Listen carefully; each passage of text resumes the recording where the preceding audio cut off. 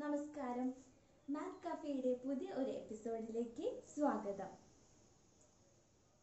നമ്മൾ മാത്സിന്റെ ഒരു എവല്യൂഷനെ പറ്റി ആലോചിച്ചാൽ എങ്ങനെയായിരിക്കും ഈ ഒരു ബ്രാഞ്ച് മുന്നോട്ട് വന്നത്? എങ്ങനെയായിരിക്കും ഈ ഒരു ബ്രാഞ്ച് കണ്ടെത്തിയത്? നമ്മൾ പലരും ഹിസ്റ്ററി ഓഫ് മാത്തമാറ്റിക്സിനെ പറ്റിയൊക്കെ പഠിച്ചിട്ടുണ്ടാകും അല്ലേ? അപ്പം മാത്സ് ഇവോൾവ് ചെയ്തത് മാത്സ് ബേസിക്കലി എന്ന് പറയുന്നത് എന്താണ്? നമ്പേഴ്സും അവിടുത്തെ പാറ്റേൺസിനെ പറ്റിയൊക്കെയാണ് നമ്മൾ കൂടുതലും കോൺസെൻട്രേറ്റ് ചെയ്യുന്നത്. അല്ലാത്ത ബ്രാഞ്ചുകളും ഉണ്ട്. പക്ഷെ മാത്സിന്റെ ഒരു ആരംഭം എന്ന് പറയുന്നത് വേണമെങ്കിൽ നമുക്ക് അങ്ങനെ പറയാം. അല്ലെ? നമ്പേഴ്സിനെ സറൗണ്ട് ചെയ്തുകൊണ്ടുള്ള ഒരു ബ്രാഞ്ചാണ് മാത്തമാറ്റിക്സ് എന്ന് പറയുന്നത്. അപ്പൊ ഈ നമ്പേഴ്സിന്റെ ഉപയോഗം എങ്ങനെയായിരിക്കും കടന്നു വന്നിട്ടുണ്ടാകുക ആലോചിച്ച് നോക്കൂ. പ്രാചീന മനുഷ്യൻ അവൻ വേട്ടയാടാൻ പോകുന്നു. മൃഗങ്ങളെ വേട്ടയാടി തിരിച്ചു വരുന്നു. അപ്പൊ തനിക്ക് എത്ര മൃഗങ്ങളെ കിട്ടി? എന്നവന് എണ്ണി തിട്ടപ്പെടുത്തേണ്ടി വരുന്നു. അല്ലെങ്കിൽ അവൻ കൃഷിയിലേക്ക് കടക്കുമ്പോൾ തനിക്ക് എത്ര ഫലം തന്റെ പ്രോഡക്ട്സ് എത്രണ്ണം ഉണ്ട് എന്നവന് എണ്ണേണ്ടി വരുന്നു. ഇങ്ങനെ കൗണ്ടിങ് എന്നത് മാത്തമാറ്റിക്സിന്റെ ഒരു ബേസ് ആണ്. അപ്പം നമുക്ക് ചെറിയ ചെറിയ സാധനങ്ങളാണ് നമ്മുടെ മുന്നിലുള്ളത് എങ്കിൽ അവയൊക്കെ നമുക്ക് കൗണ്ട് അല്ലെ കൗണ്ട് ചെയ്ത് അല്ലെങ്കിൽ എണ്ണി തിട്ടപ്പെടുത്താൻ പറ്റും. പക്ഷെ നമ്മുടെ കയ്യിൽ ഒരുപാട് സാധനങ്ങൾ എന്ന് വെച്ചു ആകാശത്തിലെ നക്ഷത്രങ്ങളെയോ അല്ലെങ്കിൽ ഒരു കാട്ടിലെ മൊത്തം ജീവികളെ അതായത് എല്ലാ ജീവികളെയും നമുക്ക് ഇൻക്ലൂഡിങ് ഇൻസെക്ട്സ് എല്ലാത്തിനെയും നമുക്ക് എണ്ണി തിട്ടപ്പെടുത്തേണ്ടിയൊക്കെ വരികയാണെങ്കിൽ അപ്പൊ അവിടെ നമുക്ക് ഒന്ന് രണ്ട് മൂന്ന് ഈ രീതിയിലുള്ള എണ്ണൽ എത്രത്തോളം എത്ര സമയം എടുക്കും നോക്കിക്കുക എത്ര ടൈം കൺസ്യൂമിങ് ആയിരിക്കും. അപ്പൊ ഇത്തരം സിറ്റുവേഷൻസിൽ നമ്മളെ സഹായിക്കാൻ വേണ്ടിയിട്ട് നമുക്ക് കോമ്പിനേറ്റോറിക്സിലൊക്കെ യൂസ് ചെയ്യുന്ന ഒരു പ്രിൻസിപ്പിൾ ഉണ്ട്. Fundamental fundamentals of counting theory എന്നാണ് പറയുന്നത്. അല്ലെങ്കിൽ ഫണ്ടമെന്റൽസ് ഓഫ് കൗണ്ടിങ് പ്രിൻസിപ്പിൾ ഇപ്പോൾ കൗണ്ടിങ് പ്രിൻസിപ്പിൾ എന്നാണ് പറയുന്നത്. ഇത് നമുക്ക് ബി എസ് സി ക്ലാസ്സുകളിലും ബി ടെക് ക്ലാസ്സുകളിലും ഒക്കെ ആവശ്യമായിട്ടുള്ള ഒരു കോൺസെപ്റ്റ് ആണ്. അപ്പൊ എന്താണ് ഈ കൗണ്ടിങ് പ്രിൻസിപ്പിൾ എന്ന് നോക്കാം. ഇപ്പം കൗണ്ടിങ് പ്രിൻസിപ്പിളിനെ നമുക്ക് രണ്ട് രീതിയിൽ ഡിഫൈൻ ചെയ്യാം. രണ്ട് തരത്തിലുള്ള കൗണ്ടിങ് പ്രിൻസിപ്പിൾസ് നമ്മുടെ കയ്യിലുണ്ട്. ഒന്നാമതായി റൂൾ ഓഫ് സം രണ്ടാമതായി റൂൾ ഓഫ് പ്രൊഡക്റ്റ് ചിലർ ചില സൈറ്റുകളിലൊക്കെ കൗണ്ടിങ് പ്രിൻസിപ്പിൾ എന്ന് പറയുമ്പോൾ ഈ റൂൾ ഓഫ് പ്രൊഡക്റ്റ് മാത്രമേ അവർ സ്റ്റേറ്റ് ചെയ്യുന്നുള്ളൂ. പക്ഷേ പ്രിൻസിപ്പിൾ ഓഫ് കൗണ്ടിങ് എന്ന് പറയുമ്പം അതിൽ ഈ റൂൾ ഓഫ് സമ്മും റൂൾ ഓഫ് പ്രൊഡക്റ്റും രണ്ടും നമ്മൾ മനസ്സിലാക്കി വെക്കേണ്ട ആവശ്യമുണ്ട്. അപ്പൊ എന്താണ് ഈ റൂൾ ഓഫ് സം എന്ന് പറയുന്നത്? ഞാൻ സ്റ്റേറ്റ്മെന്റ് ബോർഡിൽ എഴുതിയിട്ടുണ്ട് ഒന്ന് വായിച്ചു നോക്കാം if there are m choices for one action and sorry if there are m choices for one action and m choices for another action and ശ്രദ്ധിക്കുക the two actions cannot be done at the same time then there are n plus m ways to choose one of these actions എന്റെ കയ്യിൽ ഒരു action അല്ലെങ്കിൽ ഒരു പ്രവൃത്തി ചെയ്യാൻ N വഴികളും മറ്റൊരു പ്രവൃത്തി ചെയ്യാൻ എം വഴികളും ഉണ്ടെങ്കിൽ അതുപോലെ ഇവിടെ ശ്രദ്ധിക്കേണ്ട കാര്യം രണ്ട് പ്രവൃത്തികളും എനിക്ക് ഒരേ സമയത്ത് ചെയ്യാൻ പറ്റില്ല. അങ്ങനെയാണെങ്കിൽ ഈ രണ്ട് ആക്ഷൻസും കൂടി ചെയ്യാൻ എനിക്ക് എത്ര വഴികളുണ്ട്? എൻ പ്ലസ് എം വേസ് ഉണ്ട്. ഇവിടുത്തെ ശ്രദ്ധിക്കേണ്ട കാര്യം എന്ന് പറയുന്നത് the two actions cannot be done at the same time ഒരേ സമയത്ത് രണ്ട് പ്രവർത്തികൾ എനിക്ക് ചെയ്യാൻ പറ്റില്ല. അപ്പൊ എന്റെ കയ്യിൽ അഞ്ച് ഓറഞ്ചും മൂന്ന് ആപ്പിളും ഉണ്ട്. അപ്പൊ അമ്മ എന്നോട് പറയാണ് ഫ്രിഡ്ജിൽ അഞ്ച് ഓറഞ്ചും ഉണ്ട് മൂന്ന് ആപ്പിളും ഉണ്ട്. ഏതെങ്കിലും ഒരു ഫ്രൂട്ട് നീ എടുത്ത് കഴിച്ചോളൂ എന്ന് പറഞ്ഞാൽ എനിക്ക് മൊത്തത്തിൽ എത്ര ഫ്രൂട്ട്സ് എനിക്ക് സെലക്ട് ചെയ്യാൻ പറ്റും? അല്ലെങ്കിൽ എനിക്ക് എത്ര ചോയ്സസ് ഉണ്ട്? എനിക്കൊന്നെങ്കിൽ ഈ അഞ്ച് ഓറഞ്ചുകളിൽ നിന്ന് ഒന്നെടുക്കാം അപ്പൊ ഓറഞ്ചുകൾ എത്ര രീതിയിൽ സെലക്ട് ചെയ്യാൻ പറ്റും? അഞ്ച് രീതിയിൽ സെലക്ട് ചെയ്യാൻ പറ്റും. അഞ്ച് ഓറഞ്ചസ് ഉണ്ട്. അപ്പൊ എനിക്ക് ഒരു ഓറഞ്ചിനെ അഞ്ച് രീതിയിൽ സെലക്ട് ചെയ്യാൻ പറ്റും. ആ ഇപ്പൊ ഓറഞ്ചിന് ഞാൻ നെയിം കൊടുക്കുവാണ്. O one O two O three O four O five അങ്ങനെ നെയിം കൊടുക്കുകയാണെങ്കിൽ ഈ അഞ്ച് ഓറഞ്ചിൽ ഏതെങ്കിലും ഒരെണ്ണം എനിക്ക് സെലക്ട് ചെയ്യാൻ പറ്റും. അപ്പൊ ഒരു ഓറഞ്ച് സെലക്ട് ചെയ്യാൻ എനിക്ക് അഞ്ച് വേസ് ഉണ്ട്. ഇനി ഓറഞ്ച് വേണ്ട. എന്നാൽ എനിക്ക് ആപ്പിൾ സെലക്ട് ചെയ്യാലോ? അങ്ങനെയാണെങ്കിൽ A one A two A three ഇങ്ങനെയാണ് ആപ്പിളിന് ഞാൻ നെയിം ചെയ്യുന്നതെങ്കിൽ ഈ മൂന്ന് ആപ്പിളിൽ ഏതെങ്കിലും ഒരെണ്ണം എനിക്ക് സെലക്ട് ചെയ്യാൻ എത്ര വരികളുണ്ട് മൂന്ന് വരികൾ സോ മൊത്തത്തിൽ ഒരു ഫ്രൂട്ട് സെലക്ട് ചെയ്യണം. ഒരു ഫ്രൂട്ടേ സെലക്ട് ചെയ്യാൻ പറ്റുള്ളൂ. അങ്ങനെയാണെങ്കിൽ മൊത്തം എത്ര വഴികളുണ്ട്? ഫൈവ് പ്ലസ് ത്രീ അതായത് എയ്റ്റ് വേസ് ഉണ്ട് ഒരു ഫ്രൂട്ട് ചൂസ് ചെയ്യാൻ വേണ്ടിയിട്ട്. അതായത് അമ്മ പറഞ്ഞു രണ്ട് ഫ്രൂട്ടും എടുക്കാൻ പറ്റില്ല. ഏതെങ്കിലും ഒരു ഫ്രൂട്ട് മാത്രമേ നിനക്ക് എടുക്കാൻ പറ്റുള്ളൂ. അല്ലെങ്കിൽ കുറച്ച് ചോക്ലേറ്റ്സ് ഉണ്ട്. എന്റെ കയ്യിൽ അഞ്ച് ഡയറി മിൽക്കും അഞ്ച് മിൽക്കി ബാറും ഉണ്ട്. അപ്പൊ ഇതിൽ നിന്ന് ഏതെങ്കിലും ഒരു ചോക്ലേറ്റ് മാത്രമേ ചൂസ് ചെയ്യാൻ പറ്റുള്ളൂ എന്ന് പറഞ്ഞാൽ എത്ര ചോയ്സസ് നമ്മുടെ കയ്യിലുണ്ട്? ഡയറി മിൽക്കിന് അഞ്ച് ചോയ്സസും മിൽക്കി ബാറിന് അഞ്ച് ചോയ്സസും അങ്ങനെ മൊത്തത്തിൽ എത്ര ചോയ്സ് നമ്മുടെ കയ്യിലുണ്ട്? ഫൈവ് പ്ലസ് ഫൈവ് അതായത് ടെൻ ചോയ്സസ് നമ്മുടെ കയ്യിൽ ഉണ്ട്. അപ്പൊ ഇതാണ് റൂൾ ഓഫ് സമ്മിന്റെ ബേസിക് ആയിട്ടുള്ള ഐഡിയ ഇനി നമുക്ക് മറ്റൊരു എക്സാമ്പിൾ നോക്കാം. ഇപ്പൊ നമ്മളൊരു തിയേറ്ററിൽ പോവാണ്. ഈ തിയേറ്ററിൽ ആറ് സ്ക്രീനുകൾ ഉണ്ട്. അപ്പൊ അതായത് ഒരേ സമയത്ത് തന്നെ ആറ് സിനിമകൾ പ്രദർശിപ്പിക്കാൻ കഴിവുള്ള ഒരു തിയേറ്ററിലേക്കാണ് നമ്മൾ പോകുന്നത്. അപ്പൊ എനിക്ക് അവിടെ രണ്ട് ആക്ഷൻ ഫിലിംസും അതുപോലെ മൂന്ന് റൊമാന്റിക് ഫിലിംസും ഒരു കോമഡി മൂവിയുമാണ് ഈ തിയേറ്ററിലെ ആറ് വ്യത്യസ്ത സ്ക്രീനുകളിലായിട്ട് പ്രദർശിപ്പിക്കുന്നത്. രണ്ട് ആക്ഷൻ മൂവീസ് മൂന്ന് റൊമാന്റിക് മൂവീസും ഒരു കോമഡി മൂവിയും ഒരേ സമയം ആറ് സ്ക്രീനുകളിലായിട്ട് ഇത്തരം ഇത്രയും മൂവീസ് പ്രദർശിപ്പിക്കുന്നുണ്ട്. അങ്ങനെയാണെങ്കിൽ ഒറ്റ സമയത്തിൽ ഒരേ സമയത്ത് ഒരു മൂന്ന് മണിയുടെ ഷോയിലാണെങ്കിൽ ആ ഷോയിൽ എനിക്ക് ഒരൊറ്റ സിനിമ മാത്രമേ കാണാൻ പറ്റുള്ളൂ അല്ലേ? അപ്പോൾ ഏത് സിനിമ കാണാൻ കയറണം എന്നതിന് എനിക്ക് എത്ര ചോയ്സസ് എത്ര വഴികളുണ്ട് നമുക്ക്? Three plus two plus three plus one അതായത് സിക്സ് വേസ് ഉണ്ട്. ഏത് മൂവിക്ക് കയറണം എന്ന് തീരുമാനിക്കാൻ ഇനി നമുക്ക് റൂൾ ഓഫ് പ്രൊഡക്റ്റ് എന്താണെന്ന് നോക്കാം. If there are N ways for one action and M ways for another action after the first then there are N times M ways to perform both these actions ഒന്നുകൂടെ പറയാം. If there are M ways for one action ഒരു action ചെയ്യാൻ sorry N ആട്ടോ. ഒരു action ചെയ്യാൻ N വേസും മറ്റൊരു രണ്ടാമത്തെ action ചെയ്യാൻ എം വേസുമാണ് ഉള്ളത് എങ്കിൽ ആദ്യത്തെ ആക്ഷൻ ചെയ്ത് കഴിഞ്ഞിട്ടാണ് അടുത്ത ആക്ഷൻ ചെയ്യുന്നത്. അങ്ങനെയാണ് എങ്കിൽ ഈ രണ്ട് ആക്ഷൻസും കൂടി ചെയ്യാൻ മൊത്തത്തിൽ എത്ര വേസ് ഉണ്ടെന്ന് വെച്ചാൽ എൻ ഇന്റു എം അല്ലെങ്കിൽ എൻ ടൈംസ് എൻ അപ്പൊ എന്നിന്റെയും എമ്മിന്റെയും പ്രോഡക്റ്റ് എടുക്കുന്നതായിരിക്കും ടോട്ടൽ നമ്പർ ഓഫ് വേസ് അപ്പൊ ഇവിടെ നേരത്തെ നോക്കുക. നേരത്തെ നമ്മളോട് പറയുന്നുണ്ട് രണ്ട് ആക്ഷനും ഒരേ സമയത്ത് ചെയ്യാൻ പറ്റില്ല എന്ന് പറയുന്നുണ്ട്. പക്ഷെ ഇവിടെയോ ഒരാക്ഷൻ ചെയ്തതിന് ശേഷമാണ് നമ്മൾ അടുത്ത ആക്ഷൻ ചെയ്യുന്നത്. അങ്ങനെയാണെങ്കിൽ ഇത് രണ്ടും കൂടി പെർഫോം ചെയ്യാൻ എൻ ഇന്റു എം അല്ല വേസ് ആണ് ഉള്ളത്. ഇൻഡു എന്നുള്ള ഒരു യൂസേജ് ശരിക്കും ശരിയല്ല എന്നാണ് പറയുന്നത്. അതുകൊണ്ട് എൻ ടൈംസ് എം ഇതിന്റെ രണ്ടിന്റെയും പ്രൊഡക്റ്റ് എത്രയാണോ അത്രയും വേസ് ഉണ്ടെന്നാണ് പറയുന്നത്. അപ്പൊ നമുക്ക് നേരത്തെ കേസ് തന്നെ എടുത്താൽ അല്ലെങ്കിൽ അതുപോലത്തെ സമാനമായ കേസുകൾ എടുത്ത് നോക്കാം. നമ്മുടെ കയ്യിൽ മൂന്ന് ഓറഞ്ചുകൾ ഉണ്ട്.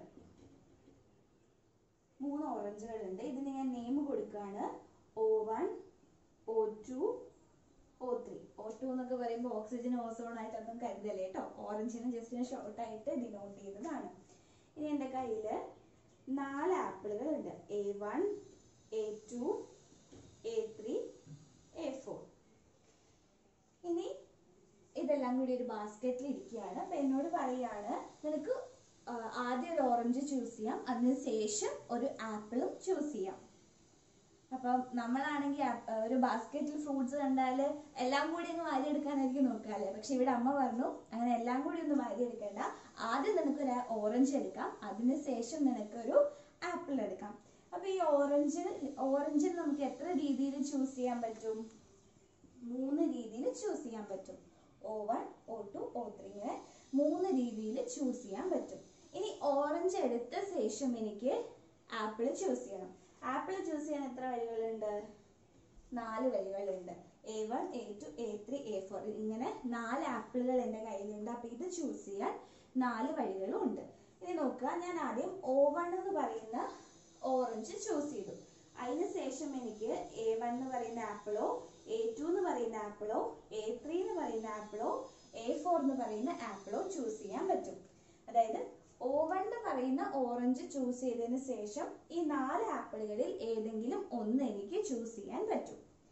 ഇനി ഞാൻ വൺ എടുക്കുന്നില്ല പകരം ഓ ടു ആണ് എടുക്കുന്നത്. ഓ ടു എന്ന് പറയുന്ന ആപ്പിൾ ചൂസ് ചെയ്തതിന് ശേഷം എനിക്ക് എത്ര ചോയ്സസ് ഉണ്ട് നോക്കിക്കേ. A one A two A three A four എന്നിങ്ങനെ നാല് ചോയ്സസ് ഇനിയുണ്ട്. അതായത് ഓ ടു ചൂസ് ചെയ്തതിന് ശേഷം. ഒ വണ്ണും വേണ്ട ഒ ടു വേണ്ട. മൂന്നാമത്തെ ഓറഞ്ച് മതി എനിക്ക് എന്ന് ഞാൻ തീരുമാനിക്കുകയാണ്. അപ്പൊ ഞാൻ ഒ ത്രീ ചൂസ് ചെയ്തു. ഒ ത്രീ ചൂസ് ചെയ്ത് കഴിഞ്ഞാൽ ഇതേപോലെ തന്നെ എ വൺ ചൂസ് ചെയ്യണോ എ ടു ചൂസ് ചെയ്യണോ എ ത്രീ ചൂസ് ചെയ്യണോ എ ഫോർ ചൂസ് ചെയ്യണോ? ഇങ്ങനെ പിന്നെയും നാല് വഴികൾ എന്റെ കയ്യിലുണ്ട് അപ്പൊ മൊത്തത്തിൽ എത്ര വഴികളുണ്ട് എനിക്ക് ഒരു ആപ്പിളും ഒരു ഓറഞ്ചും കൂടി ചൂസ് ചെയ്യാൻ വേണ്ടിയിട്ട്? കൗണ്ട് ചെയ്ത് നോക്കാം.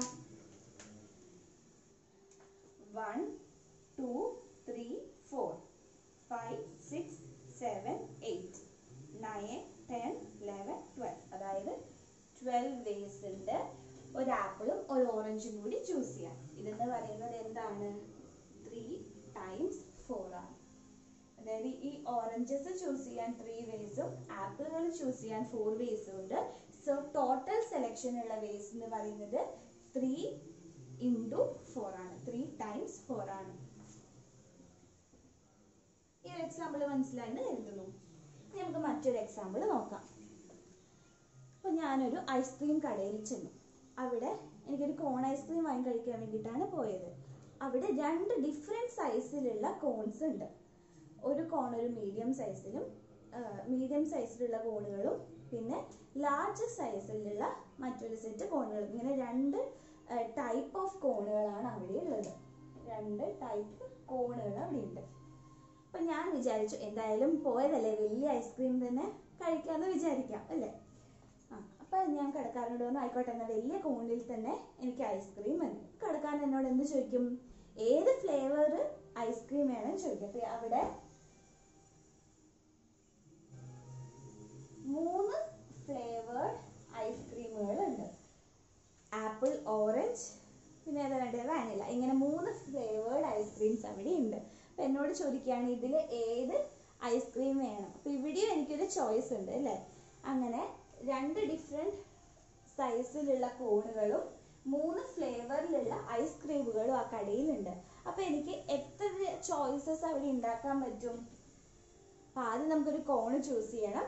അതിന് ശേഷം ഐസ്ക്രീം അല്ലാതെ കോണ് മാത്രം ചൂസ് ചെയ്തിട്ട് കാര്യമില്ല. ഐസ്ക്രീം മാത്രം ചൂസ് ചെയ്തിട്ടും കാര്യമില്ല. അതെനിക്കൊരു കോണിലേക്ക് ഇട്ട് വാങ്ങണം അല്ലേ? അപ്പൊ എനിക്ക് മൊത്തത്തിൽ എന്താ ഒരു ആക്ഷൻ കഴിഞ്ഞിട്ടാണ് അടുത്ത ആക്ഷൻ വരുന്നത്. അപ്പൊ ഇവിടെ റൂൾ ഓഫ് പ്രൊഡക്റ്റ് ആണ് വേണ്ടത്. റൂൾ ഓഫ് സം ഇവിടെ യൂസ് ചെയ്യാൻ പറ്റുമോ ഇല്ല. കാരണം എനിക്ക് കോൺ മാത്രം കിട്ടിയതുകൊണ്ടോ ഐസ്ക്രീം മാത്രം കിട്ടിയതുകൊണ്ടോ കാര്യമില്ല. എനിക്കൊരു കോൺ ഐസ്ക്രീം ആണ് വേണ്ടത്. സോ ഈ രണ്ട് ആക്ഷൻസും നമുക്ക് ഒന്നിന് പുറകെ ഒന്നായിട്ട് ചെയ്യേണ്ട ആക്ഷൻസ് ആണ്. സോ ഇവിടുത്തെ ടോട്ടൽ നമ്പർ ഓഫ് ചോയ്സസ് എന്ന് പറയുന്നത് ടു ഇന്റു ത്രീ അതായത് സിക്സ് ആണ് ഇവിടുത്തെ നമ്പർ ഓഫ് ചോയ്സസ് എന്ന് പറയുന്നത്. അപ്പോൾ ഇതാണ് റൂൾ ഓഫ് സമ്മും റൂൾ ഓഫ് പ്രൊഡക്റ്റും റൂൾ ഓഫ് സമ്മിൽ ഒന്നോ അതിലധികം ആക്ഷൻസ് ഉണ്ടാകും. പക്ഷേ ഒരേ സമയത്ത് നമുക്ക് ഒരു പ്രവൃത്തി മാത്രമേ ചെയ്യാൻ പറ്റുള്ളൂ. ഇനി റൂൾ ഓഫ് പ്രൊഡക്റ്റ് യൂസ് ചെയ്യുന്ന കേസിൽ ഒന്നോ അതിലധികമോ ആക്ഷൻസ് ഉണ്ടാകും. പക്ഷേ ഒന്നിന് ശേഷം ഒന്നായിട്ട് നമുക്ക് ഇങ്ങനെ ചെയ്തു പോകാം. ഈ റൂൾ ഓഫ് സമ്മിന്റെയും റൂൾ ഓഫ് പ്രൊഡക്റ്റിന്റെയും എക്സ്റ്റൻഷൻസ് ഉണ്ട്. ഇപ്പൊ ഇവിടെ നമുക്ക് രണ്ട് ആക്ഷൻസ് മാത്രമല്ലേ ഉള്ളൂ. അപ്പൊ നമുക്ക് വേണമെങ്കിൽ ആക്ഷൻസിന്റെ എണ്ണം കൂട്ടാം. അസ്യൂം ചെയ്യാണ്. കെ നമ്പർ ഓഫ് ആക്ഷൻസ് ഉണ്ട്. കെ നമ്പർ ഓഫ് ആക്ഷൻസ് ഇവിടെ നമുക്ക് ടു നമ്പർ ഓഫ് ആക്ഷൻസ് എന്ന് പറയുന്നത് ടു ആണ്. രണ്ട് ആക്ഷൻസ് മാത്രമേ ഉള്ളൂ. സപ്പോസ് അസ്യൂം ചെയ്യാണ്. കെ നമ്പർ ഓഫ് ആക്ഷൻസ് ഉണ്ട്. അപ്പൊ ഇതിൽ ഓരോ ആക്ഷൻ ആദ്യത്തെ ആക്ഷൻ എനിക്ക് പെർഫോം ചെയ്യാൻ പി വൺ വേസ് രണ്ടാമത്തെ ആക്ഷൻ പെർഫോം ചെയ്യാൻ എനിക്ക് പി ടു വേസ് മൂന്നാമത്തതിന് പി ത്രീ നാലാമത്തതിന് പി ഫോർ അങ്ങനെ ലാസ്റ്റ് എണ്ണം ചെയ്യാൻ എനിക്ക് പി കെ വേസ് ഉണ്ട്. അങ്ങനെയാണെങ്കിൽ ഒരേ സമയത്ത് ഒരൊറ്റ ആക്ഷൻ മാത്രമേ ചെയ്യാൻ പറ്റുള്ളൂ. എങ്ങനെയാണെങ്കിൽ ഈ ആക്ഷൻസ് ചെയ്യാൻ മൊത്തത്തിൽ എത്ര വഴികളുണ്ടെന്ന് ചോദിച്ചാൽ ഇതിന്റെ സം ആയിരിക്കും അതിന്റെ ആൻസർ ഒരു സമയത്ത് ഒരു ആക്ഷൻ മാത്രമേ ചെയ്യാൻ പറ്റുള്ളൂ എന്ന് പറഞ്ഞാൽ ടോട്ടൽ നമ്പർ ഓഫ് വേസ് എന്ന് പറയുന്നത് ഈ P one plus P two plus അങ്ങനെ പി കെ വരെയുള്ളതിന്റെ സം ആയിരിക്കും. ഇനി നമ്മളോട് പറയാണ് ഒന്നിനു പുറകെ ഒന്നായിട്ട് നമുക്ക് ഈ ആക്ഷൻസ് ചെയ്യാൻ പറ്റും.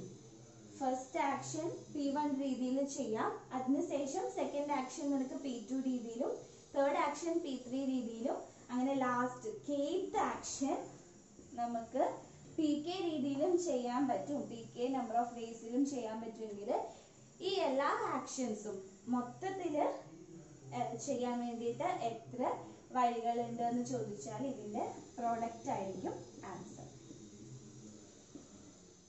ഇതാണ് ഈ റൂൾ ഓഫ് സമ്മിന്റെയും റൂൾ ഓഫ് പ്രൊഡക്റ്റിന്റെയും ഒരു എക്സ്റ്റൻഷൻ റൂൾ ആയിട്ട് നമുക്ക് പറയാൻ പറ്റുന്നത്. ഈ റൂൾ ഓഫ് പ്രൊഡക്റ്റ് നമുക്ക് യൂസ് ചെയ്യുന്ന മറ്റൊരു സിറ്റുവേഷൻ കൂടി ഞാൻ ജസ്റ്റ് ഒന്ന് പറയാം. ഇപ്പൊ എനിക്ക് എ എന്ന് പറയുന്ന സ്ഥലത്ത് നിന്ന് ബി എന്ന് പറയുന്ന സ്ഥലത്തെത്താൻ രണ്ട് വഴികളുണ്ട്. ഈ ബി എന്ന് പറയുന്ന പ്ലേസിൽ നിന്ന് സി എന്ന് പറയുന്ന പ്ലേസിൽ എത്താൻ എനിക്ക് മൂന്ന് വേസും ഉണ്ട്. നിങ്ങൾ നിങ്ങളുടെ ചുറ്റുമുള്ള ഏതെങ്കിലും സ്ഥലങ്ങൾ ആലോചിക്കുക. എയിൽ നിന്ന് ബിയിൽ എത്താൻ രണ്ട് വഴികളും ബിയിൽ നിന്ന് സിയിൽ എത്താൻ മൂന്ന് വഴികളും ഉണ്ട്. അങ്ങനെയാണെങ്കിൽ എയിൽ നിന്ന് സിയിൽ എത്താൻ എത്ര വഴികളുണ്ട്? മൊത്തത്തിൽ എത്ര വഴികളുണ്ട്? എങ്ങനെ നമ്മൾ കണ്ടുപിടിക്കുക? ആദ്യം നമുക്ക് എയിൽ നിന്ന് ബിയിലേക്ക് ഈ വഴി പോകാം.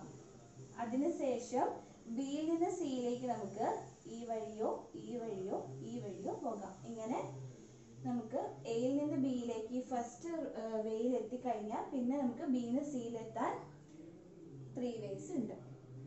ഇനി അതുപോലെ നമുക്ക് ഈ ഫസ്റ്റ് വേ വേണ്ട. പകരം ഈ സെക്കൻഡ് വേ നമുക്ക് ചൂസ് ചെയ്യാം. അങ്ങനെയാണെങ്കിൽ നമുക്ക് എയിൽ നിന്ന് ബിയിലേക്ക് ഈ വഴി വന്നിട്ട് ബിയിൽ നിന്ന് സിയിലേക്ക് നമുക്ക് ഈ മൂന്നിൽ ഏതെങ്കിലും രീതിയിൽ പോവാം. അല്ലേ? അപ്പൊ മൊത്തത്തിൽ എത്ര രീതികളുണ്ട്? ത്രീ പ്ലസ് ത്രീ സിക്സ് ഇനി നമുക്കിത് പ്രോഡക്റ്റ് റൂളിന്റെ സഹായത്തോടെ ചെയ്യാം. ഇവിടെ നമുക്ക് ആദ്യം എയിൽ നിന്ന് ബിയിൽ എത്താൻ രണ്ട് വഴികളും പിന്നെ എഴുതുന്നില്ല എയിൽ നിന്ന് ബിയിലെത്താൻ നമുക്ക് രണ്ട് വഴികളും ബിയിൽ നിന്ന് സിയിലെത്താൻ മൂന്ന് വഴികളും ഉണ്ട്. അങ്ങനെയാണെങ്കിൽ എയിൽ നിന്ന് സിയിലെത്താൻ മൊത്തത്തിൽ എത്ര വഴികളുണ്ട്? Two into three six ways ഉണ്ട്. ഇതാണ് പ്രൊഡക്റ്റ് റൂളിന്റെ മറ്റൊരു ആപ്ലിക്കേഷൻ